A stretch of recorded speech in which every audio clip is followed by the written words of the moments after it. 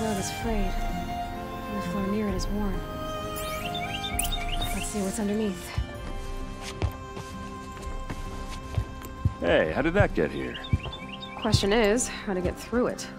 Without a key, you won't. That's a vault hatch of Oseram make. Nothing gets through. We'll see about that.